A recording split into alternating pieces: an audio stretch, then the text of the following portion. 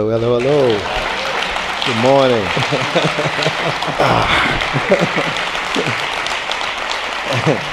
all right, all right, all right, all right. Good morning. How's everybody doing today? All right, good. Um, I'm Jared. I have been serving here for, uh, you know, it's been, been a time now that I've been a friend of Brad and, and a friend of Brennan and, and some of the amazing people here. Um, and now we've been working together to do some great things uh, at the end zone so that we could be a real, real light to the community. And this is my father. You can introduce yourself. Uh, I'm that guy that was up there. Uh, I'm his dad, Darrell Green. um,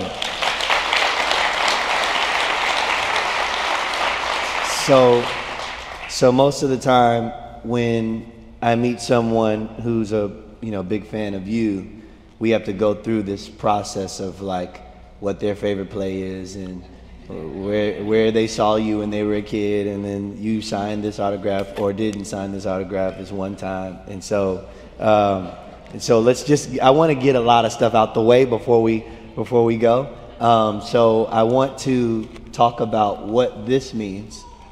Matter of fact, why don't we ask the people, what, what is this, what is this? Okay, Hall of Fame. All right. Who knows what year he went into the Hall of Fame? Oh, wait, man, that was quick. Okay. All right. Who knows what this jacket means? Top 100. Yes, you're right. All right. So which one is better?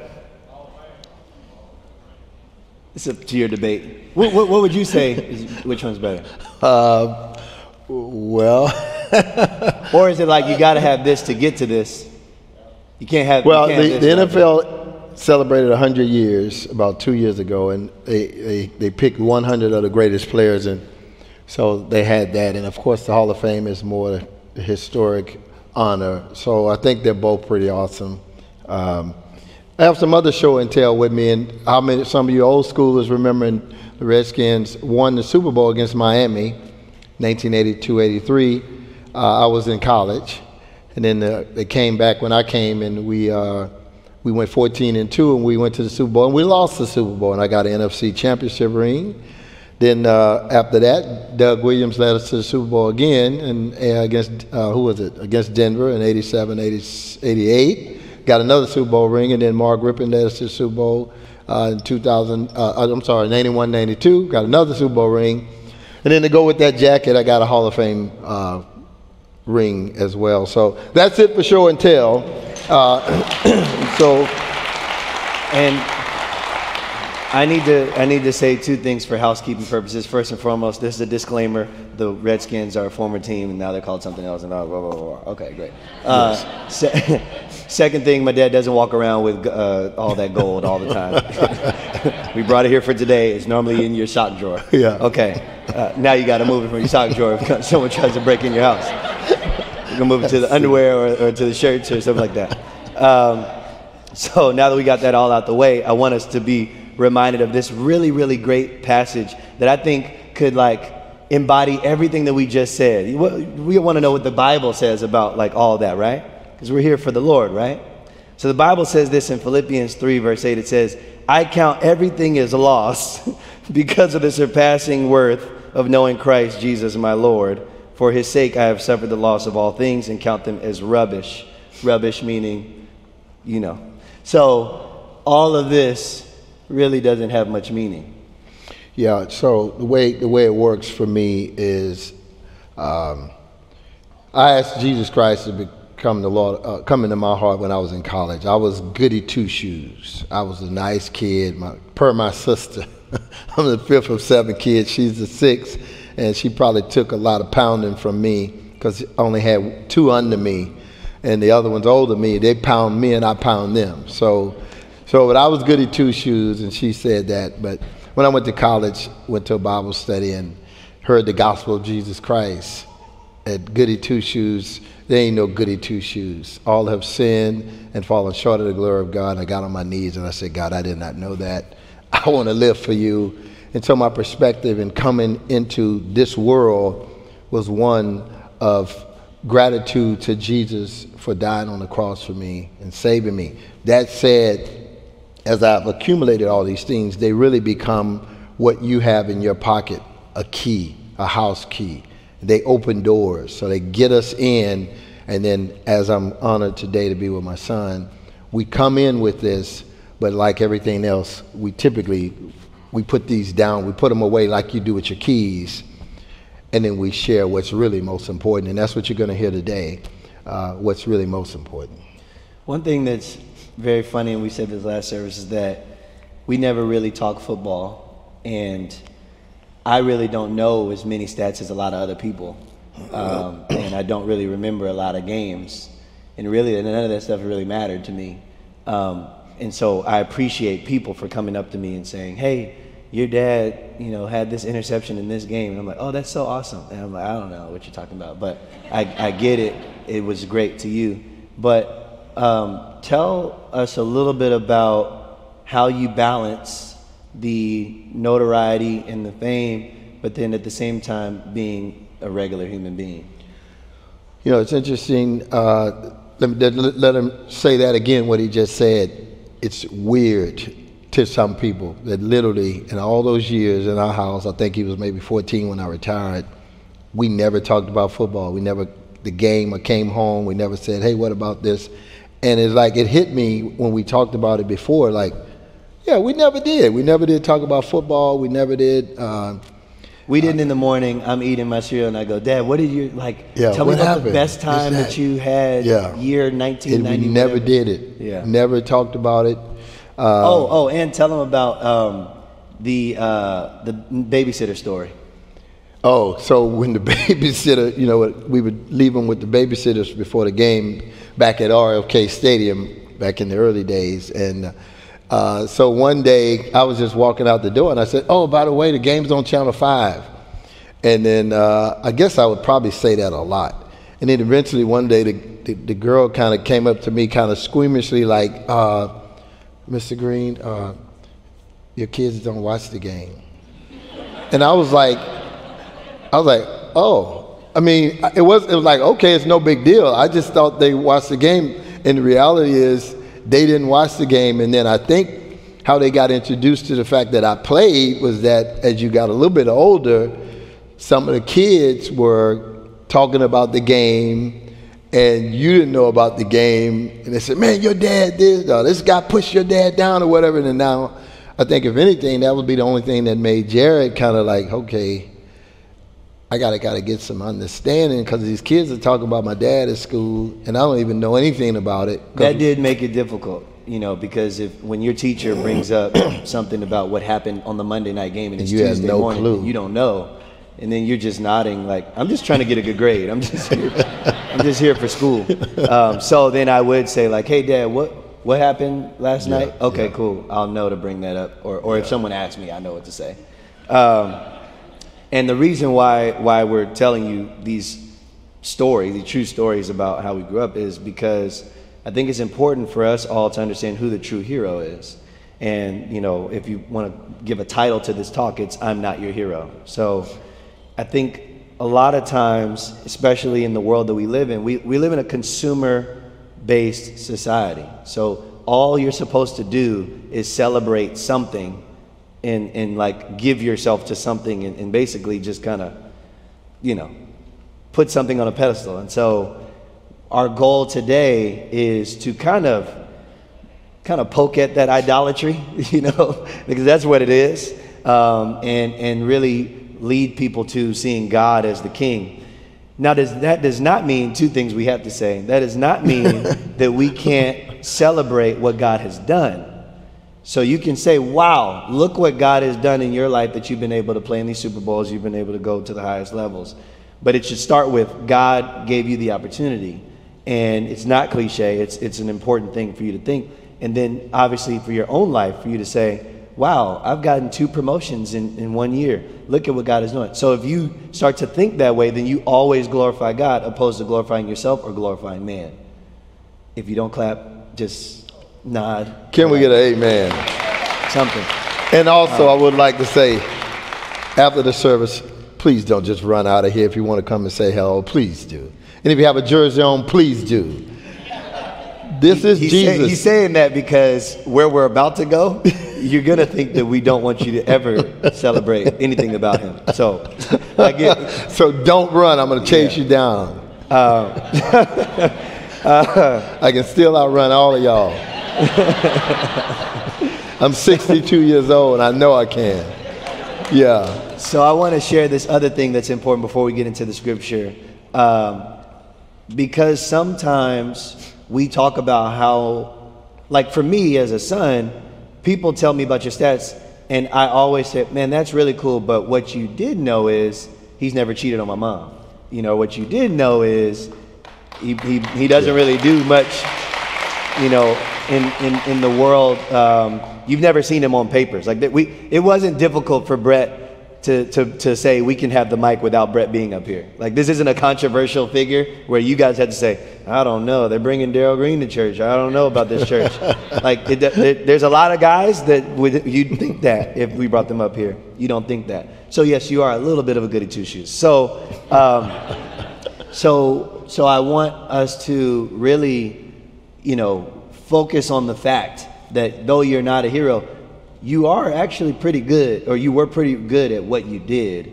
Sometimes people think because you're a believer and because you shift your focus off of the thing that you do to glorify God, that you're not all you're not good at what you do. So if someone was trying to run a route against you in 1995, um, a great thing, a great story is like when you broke Michael Irvin's nose. It's like I still will, I still will, don't clap about that. Yeah. because we might send this to him and then he's gonna be like, oh man. Yeah. Um, but but you still are able to do your job at the highest level and to, as your older brother has always told me, take no prisoners on the field. Um, so tell us about the dynamics of Yeah. still being excellent and and you know crushing the game. That's a, I think that's we all struggle with that. We really are the keepers of the land as Christians. In this country, whatever good or bad it is, it's, is all on us. The Bible says the judgment will begin right here with us. It won't be with them. Oh, you don't know people over there. No, no, it's going to be the people of God. But it's super important that we learn to recognize what God has given us and He's given everybody. He said He give gifts to men, different unique gifts. He doesn't say he, men's to run fast, but those are included. You know, He talks about it in a spiritual sense. But for me, understanding that I, I guess I don't know, maybe I was in college, I realized, man, oh man, I am fast. I can run. I can outrun all of these guys. And I, I understood that. I knew that I could do that. I knew I could cover receivers. I knew I was good at what I could do. But my salvation was always going to be first and foremost. And so it's a it's, it's how do you walk through that that aspect of your life? How do you? Some of y'all are uh, Hall of Famers in what you do. They, everybody just don't know it because it's not on TV. But she's a baller. He's a baller. Everybody is great in something that they do sometimes you don't have you don't number one you don't have the ability or you don't have the consciousness to use that key for the glory of god some of you are dropping the ball every day because if you're influence at your job uh, i'll digress for a second and say that joe gibbs and i'll just say this it's not i don't think it's embarrassing but joe gibbs is 80 years old i believe He's, some of y'all remember joe gibbs right joe gibbs said to me uh, several months ago uh, uh, that uh, he wanted to go and reach out to all of the players and coaches he's ever been with and tell them about Jesus Christ.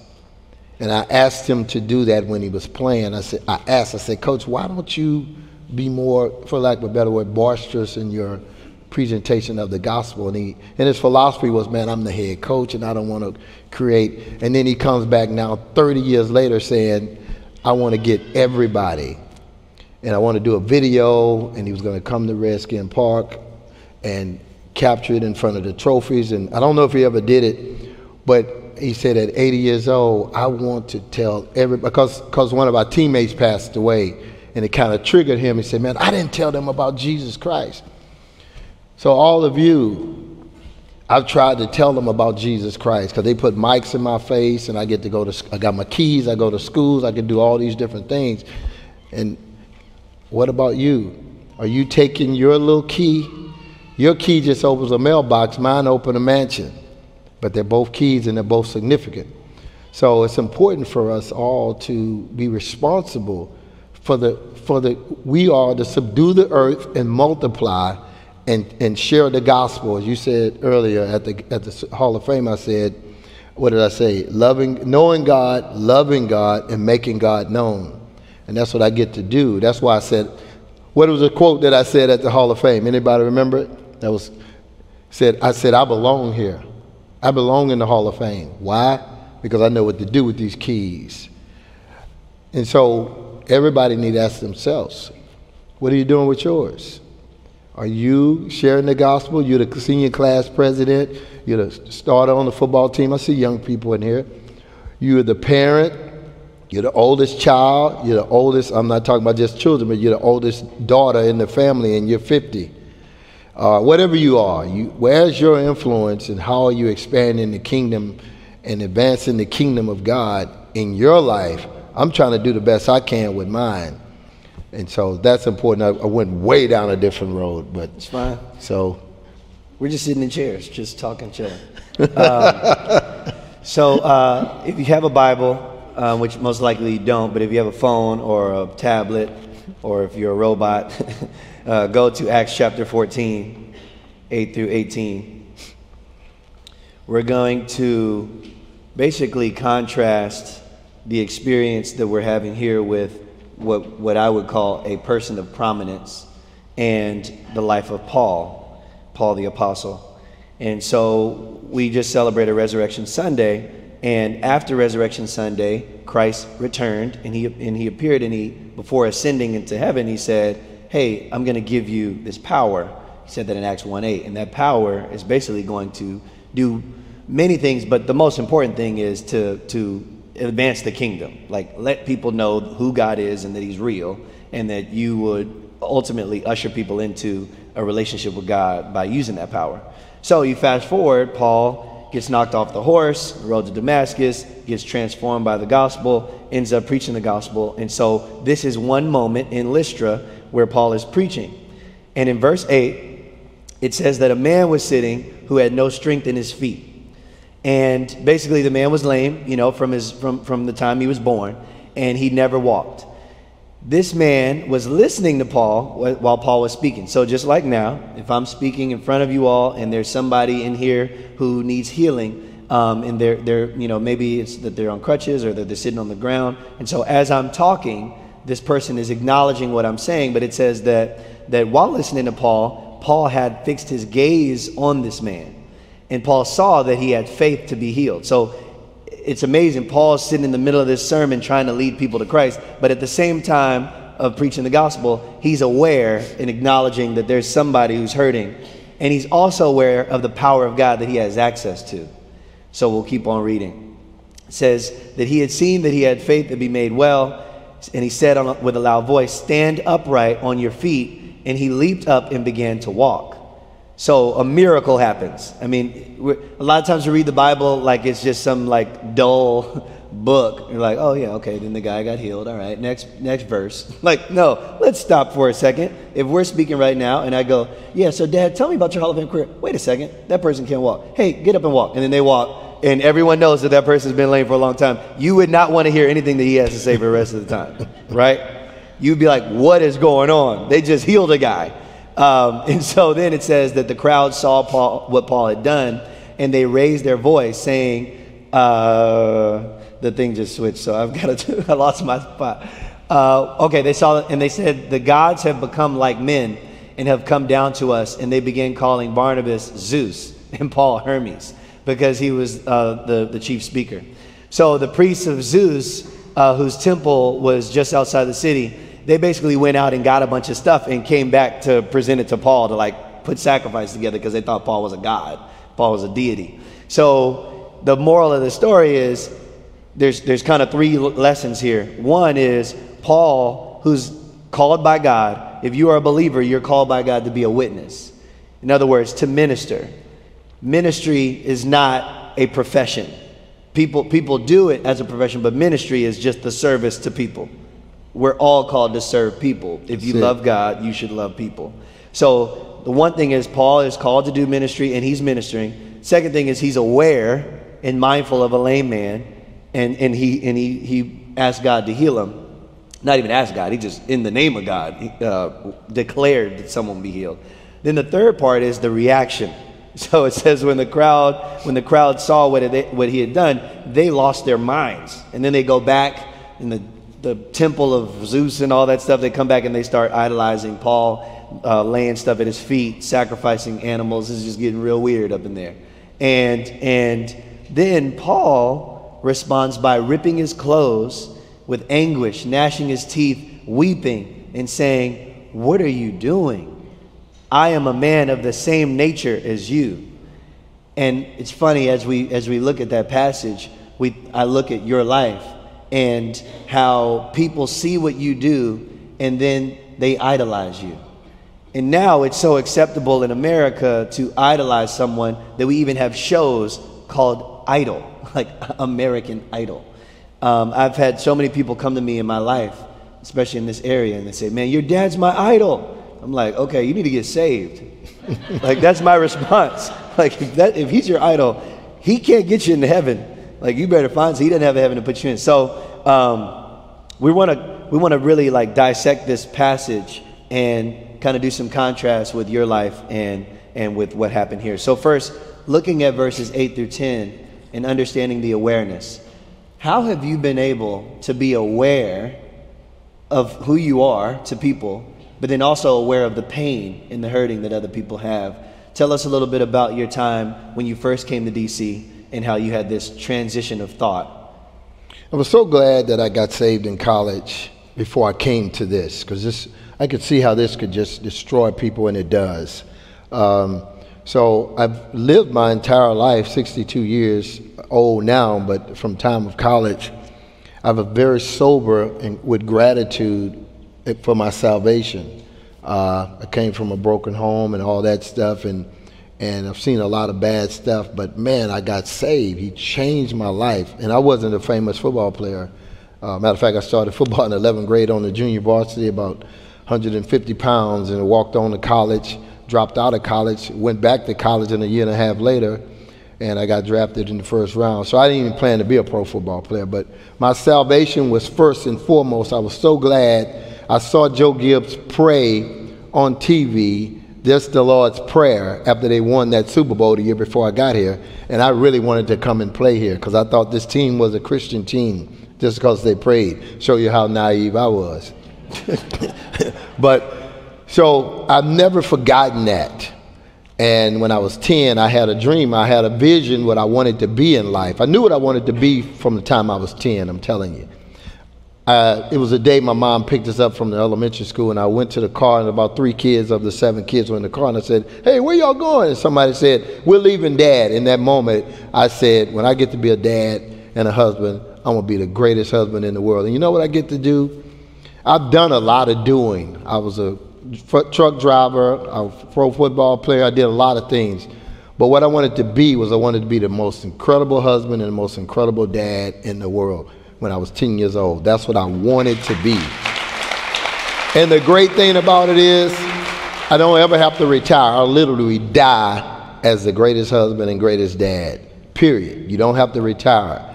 Anything that I do, all these things that I do and will do and have done, it's a million things I'll do. And unfortunately, the world is kind of driven by that. That said, I, started the Youth Life Learning Centers in Washington, D.C. to try to help kids because of who got, what God had done in my life. And so I, and I stayed faithful to my wife. I love my kids. I worked hard as I can. You know, I never went to another team. Anybody think thought about that? I was on strike. Y'all never even asked the question, why didn't Darrell go to another team? Because God told me not to. Break that down. Tell them the whole part. So the team was going to get rid of me. Uh, I'm not going to say why they was. I'm not sure why they would do that. But they said, we want to tear up your contract, go find a team. Well, goodness, I'm only about four or five years in the league. I'm going to find a team. So sure enough, the team was ready to bring me and give them first round picks. I'm going to Denver, and, and here it is. The money is there. They're going to pay me a lot of money. I went into my basement. I said, God, everything is set, but what do you say? He said, don't do it.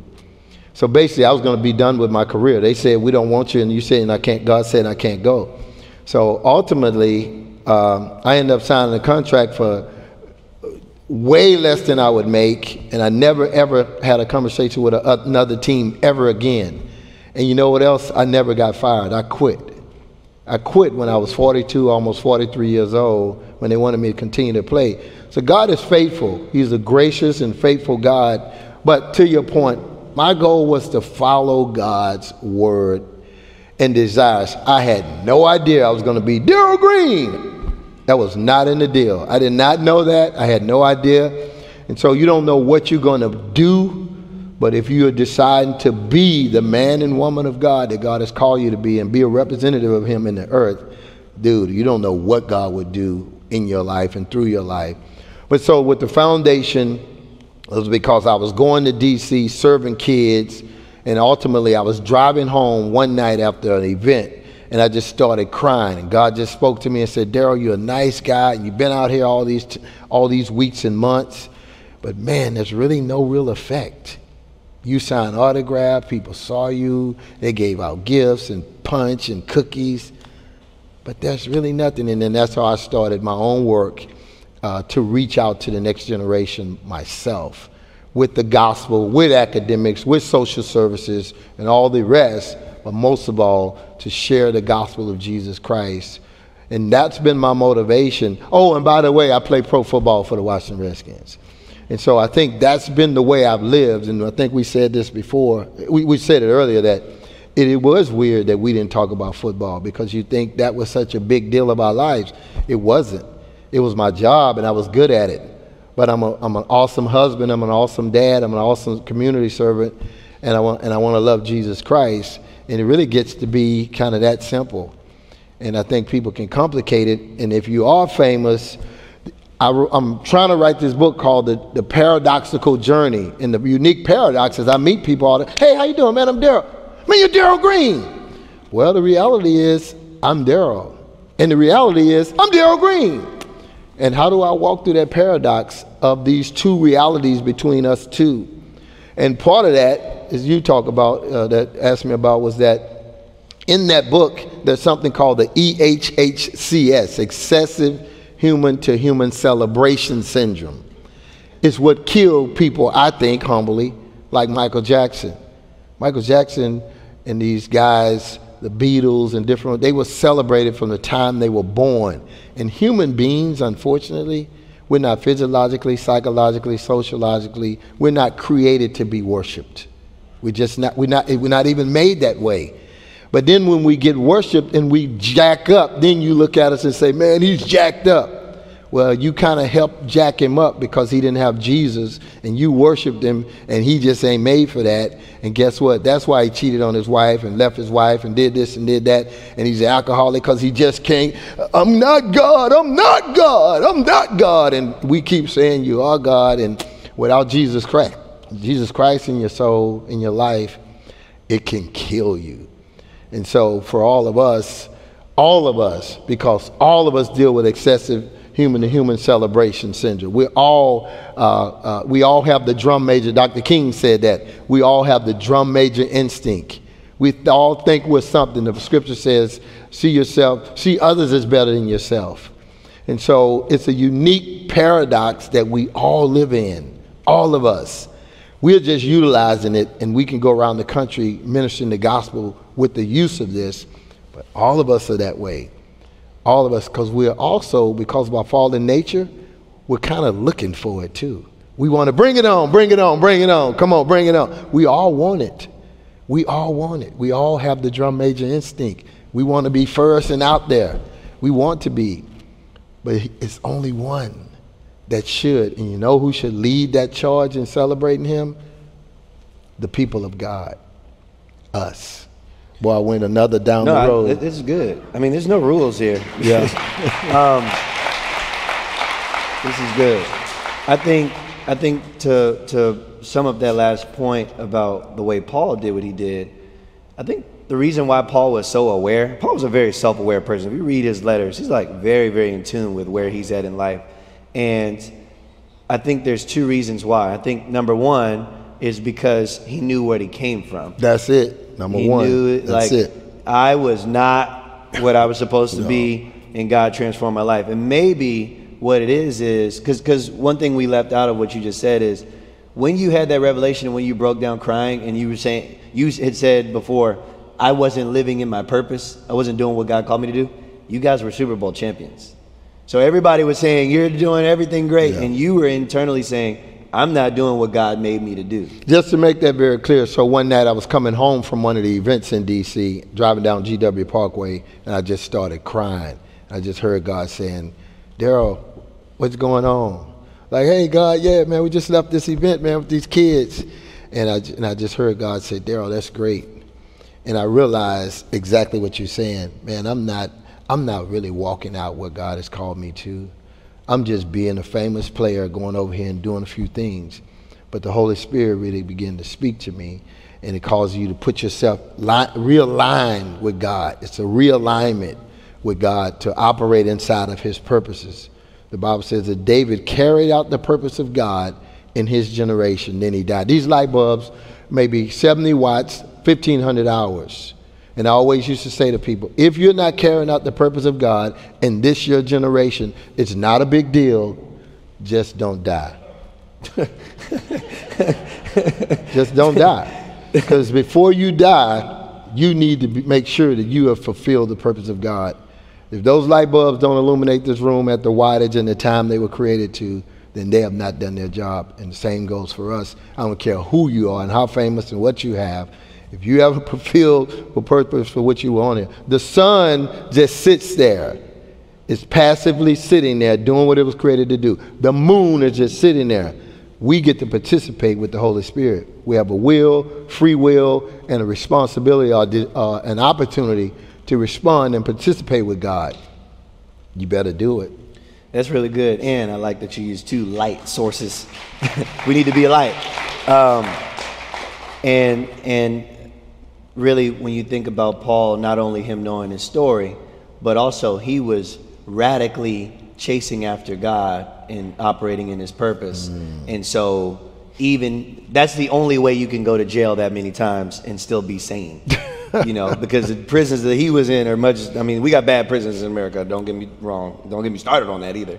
But what he was going through was was awful, and for him to say, "Oh, okay, well, I guess I'm going to be in here for a few weeks. Let me write a few passages. like, let me write a few uh, uh, letters." So, really phenomenal to be aware of who you are, and then to be aware of your calling, and then ultimately to be aware of God's purpose of, for your life. So that's how Paul was able, during the middle of a sermon, in the middle of preaching, to say, I know that God heals people, and I know that this man is longing. He's seeking God. Let's do a miracle right now, God.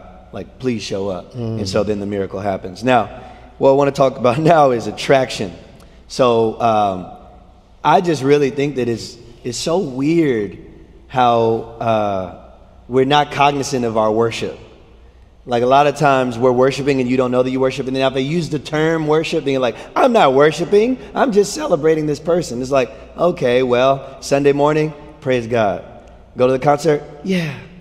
Your favorite football team scores? Yeah. It's like, Same eh, move. You're kind of Same doing move. the same move. Maybe you change the move up. Like, you know. Um, so naturally, and I Y'all figured not it- feeling I that. figured to be quiet. Yeah, yeah, wait a minute. in Hold like, up now. Hey, look, I want to put my hands up. Put when that guy hit up. that three pointer, go, worship God, hallelujah. I was at the Final Four uh, uh, two weeks ago, whatever the Final Four was, and and um, I didn't go to the, the, the game on Monday because I just wanted to go back home. But but the game before that game was UNC versus Duke, and it was just electric in there. Everybody's going crazy, and um, I just every five seconds everybody stood up and they put their hands up, and I just like, man, this is weird. So I just stayed sitting back. Like I like to sit down.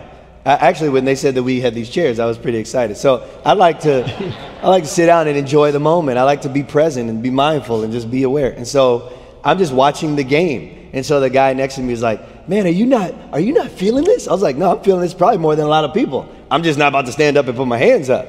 I'll leave that for God." So um, you can be weird. Like, so what? Maybe that, maybe that guy felt like, "Oh man, I wonder." Like how I should figure out how I worship God. And and it's not saying that putting your hands up is worship, because uh, you can put your hands up for a lot, a lot of reasons, or you can wave them like you just don't care. But I, I'm saying that we are de- designed to worship. Naturally, you're designed to worship. And we're also designed to devote ourselves to things like this. So when you, when you are constantly picking up your phone, celebrating, or worshiping information or, or the, the need for information, you're constantly uh, seeking information. You, you got all your uh, apps up, you've got ESPN ticker, you got, I mean, just so much information is coming into your brain at one point. Oftentimes, you can miss out on what you're supposed to do. And so, a, a lot of times, you can be around someone like you and say, Man, you're so amazing. And, and like, a great question, I know that you're not a jerk, so you wouldn't say this, but you would say, Hey, what are you doing? You know, and it's like, well, I don't, I don't know. I mean, you know, because like we love to celebrate what we're not. You know, we're like, oh man, that play that you did, that game that you played, that thing that you did. And it's like, hey, were you late for work yesterday? Yeah, I was late, but I mean, it's about you, Darrell. You know, or, or like I didn't I didn't submit my sheets and my, my whatever I was supposed to turn in on Friday, but I mean I'm here to watch Tom Brady tonight. You know, like it's like, man, what about what you're supposed to do? God gave you talents, God gave you gifts, and God gave you keys, like you said. And so there's this weird attraction.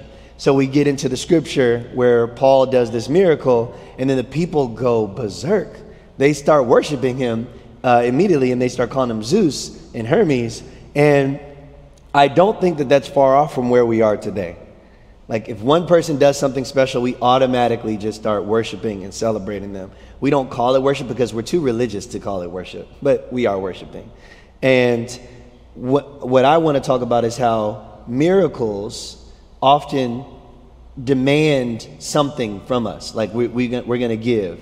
If someone came up on stage, if Brennan came up on stage today and, and you know, wanted to talk about the miraculous uh, healing that he had from, from cancer, then we would automatically have an emotional connection to him and want to make his life better. You, you feel what I'm saying? You, you hear someone go through something, there's a miracle, and then you're like, I want to give to what they're doing. I want to support that person, or I want to just know that person. We naturally want to give when we see a miracle.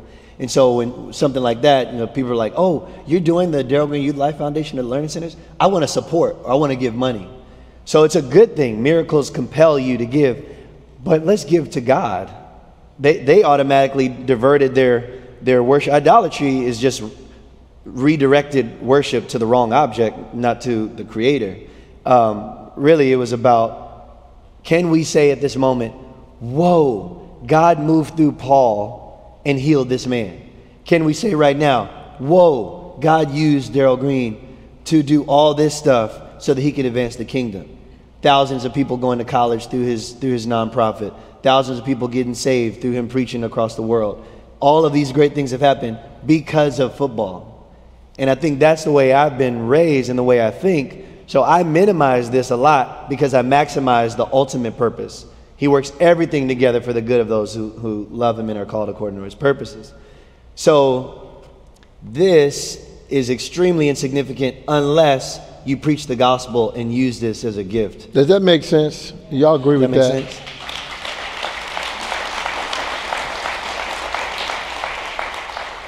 So, because of the miracle, there came anguish. Can you imagine you doing something special. Let, us just let's just put yourself in his shoes right quick.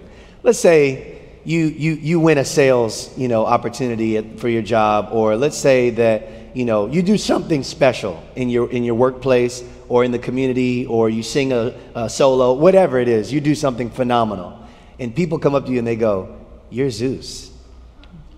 You'd be like, "Whoa, whoa, whoa! This is weird." Paul ripped his clothes threw dirt on his face. Like, I, I, want you to see that I hate this moment really like a lot right now, so that you don't think that I love what you're doing. The crazy thing is, we never get to experience that. Like, you can't go to a restaurant without. That used to really bother me. Like, we can't even eat. But you you couldn't go to a restaurant without someone being like, "This is what they do. Watch this. Watch this."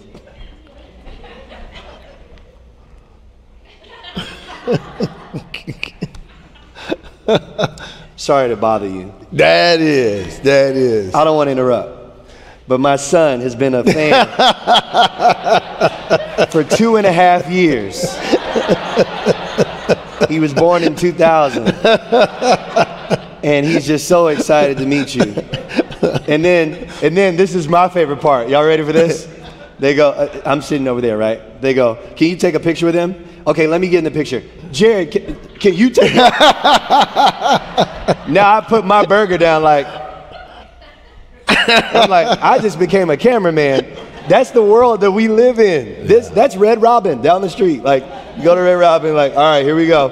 And I, and, and we said this before. This is funny. I didn't know that you used to see those people doing Yeah. that. I was always the one that was like, oh boy, I like, I see that stare. that guy on table eight, he's coming. He's coming. I was always conscious of that. I already know who's coming. But I also had created a plan. Either I'm going to do it today or I'm not. Say, hey guys, I'm not doing anything. I'm with my family. Boom, boom, boom. If you guys are here when we finish, I'll do it. And about other times, hey, oh yeah, bring him on. So, but I determine that. I determine that on your behalf, on my behalf. yeah. Paul, Paul says this after all the anguish and ripping his clothes. He says, Don't you know that we are men of the same nature? This is the same nature. Everybody here is of the same nature. We are all human beings. And Paul was like, Man, if you guys missed this, you missed the whole point while I was, while I was preaching.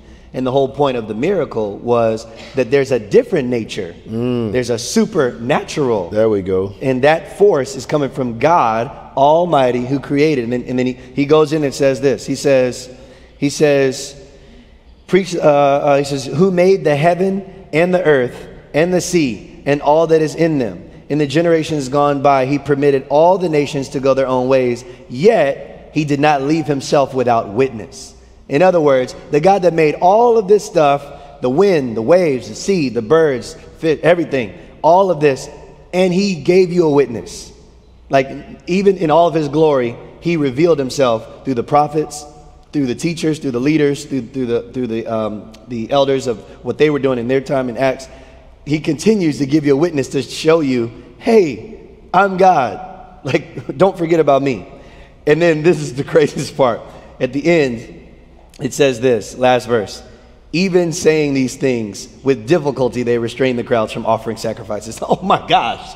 Like, after he says all this, they're like, that's really cool. Hey, about the sacrifice, like, you're still amazing.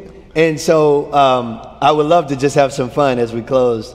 Uh, how do you deal with that? Like, there's a lot of, it's just kind of strange. I think it's the same thing that I'm. it's the same. It's the same thing that I'm hoping that all of us will do, that we will all learn to to make Jesus Lord. He's not just Savior; He's Lord. I'm not talking about the, the pastors making them, but each one of us who love Jesus Christ. When you go to work, when you go home in the neighborhood, let's each one of us be conscious and conscious by the Holy Spirit. Be you know seek the Spirit of God, so that we can actually be beneficial in the earth. The worst thing, you know, I remember my dad was an alcoholic. I used to think, man, God, my dad got his butt whooped on earth. Didn't have a father. People mistreated him. White people mistreated him. This is per him. All this stuff happened. And I said, God, please let him come to know you so he doesn't just get his butt kicked for eternity. And we led him to the Lord. And so, and, and so thank God. but I just say that to everybody that all of us learn to, like Paul, to anguishly fight against everything racism, hate, sin, issues, what you, what's on the phone, all this evil that is coming against us. Let's bow up and, and buck up and fight against it and not be afraid to, to proclaim the gospel of Jesus Christ. You want the world to change, then He can change it through you. It's not gonna. Now He said the rocks will cry out and worship Him if you don't do it. I don't want no rock to take my place. Not only just worshiping, worshiping Him, but advancing the kingdom for Him. So that's the message today. What about you? Where's your inner Darrell Green? you look like I'm Darrell Green too. you know. And, and last thing I want to say is we have to get off here. Uh, don't run out of here. I want to say hello to you before you leave. The so reason why start the reason why I kept saying this because I went pretty hard the first service, and I just talked about how I can't stand when people come up in front. So no one came up. I didn't mean you all. I mean those people, the other people. but to sum this all up, the, the scripture says um, in Romans 2, verse 11, says, God is not a respecter of persons. So when, when you get, you know, into the kingdom, God's not going to say, you know, I know I raised Lazarus. I know I've turned water to wine, but man, that I'm gonna have on all my rings when I walk in there. Like, that 40 yard What dash. up, Lord? it's like he's not going to say that. Um, and and we also know that he says he shares his glory with nobody. So every time that you try to give him or anybody that glory, he, he those who are righteous and, and those who love the Lord are going to just take that same stuff and just push it back towards him. You're never going to get, you know, uh, people all my life, they're like, your dad never really like fully embraces. I'm like, you're not going to get it. You're not going to get it. He's, he's not going to give you what you want. You want him to say, when you say, remember when you guys were in that game? You want him to say, yes, I remember. It was amazing. Like he's not going to give that to you. He, he's going to say, oh yeah, that was cool. I remember that. Um, because it's all for the glory of God. So that's it for our time. Any, any last thing? No, I appreciate you guys coming out. Did, did anybody, do, do y'all hear what the Spirit of the Lord is saying? Really do. Give God the glory for that. Because I'm, I'm not out here, I'm not out here for pay. I'm not out here for be celebrated. I'm not, we're out here to advance the kingdom of God through Jesus Christ, period. Amen. That's Amen. it. Amen. All right, let's pray. Father God, we thank you for your goodness, for your grace. Thank you for your mercy and all that you've done um, in my father's life. Um, we ask that, um, that you would just move on our hearts today. Lord, that you would reveal yourself, that we would not be focused on the things around us, i.e., the news, our phone, social media, all those things, but we would really be fixed on you, Christ. Lord, we ask that you would forgive us for the excessive human to human celebration, and you would help us to know that people like my father are not our hero, you are our hero. Help us to leave this place loving you and seeking you more than we did before we came. In your mighty name, amen. Amen.